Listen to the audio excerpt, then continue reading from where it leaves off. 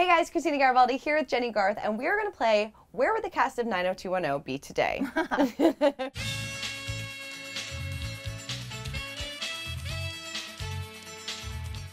of course, we have to start off with Kelly. Brenda, I am a spring princess. She probably has like eight kids, lives in a trailer park. Let's go with that. With Dylan or without? Where would Dylan be Uh, today? Yeah, Dylan, but Dylan has a big fat belly.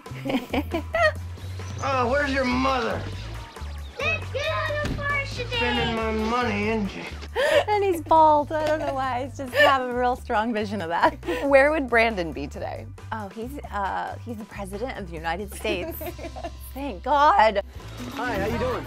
I'm Brandon Walsh. I'm running for president. Damn glad to meet you. Where would Donna be? Donna is like Diane von Furstenberg in New York with her own fashion line. I have a fast metabolism. Gee. Where would Brenda be? Brenda is um, definitely saving the dolphins in um, China right now. It'll give me a chance to spend some time with nature and get out of those smog-infested malls that you're always ranting about. Where would Steve be? Oh, oh, well, I just got two images. One is a professional wrestler, Okay. body slamming people, and the other one is a um, used car salesman. Valerie. This is exactly where I want to be. She runs a brothel in Las Vegas.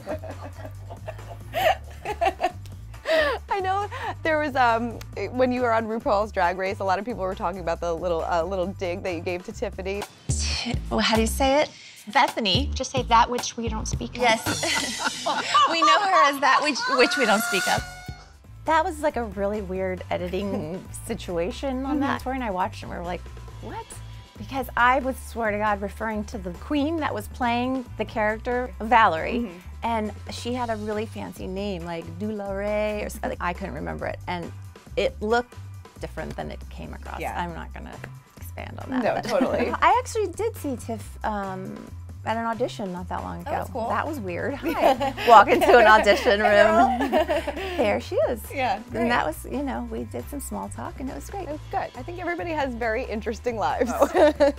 there we go. Any chance? I know uh, you get this question all the time, but any chance there will be a reunion? We've talked about it and um, played with some ideas. I don't know where the project is now. I mean, I don't know if it's going to move forward or I would be a part of it. I would be a part of it if, if it came up. Yeah. So, well, fingers crossed.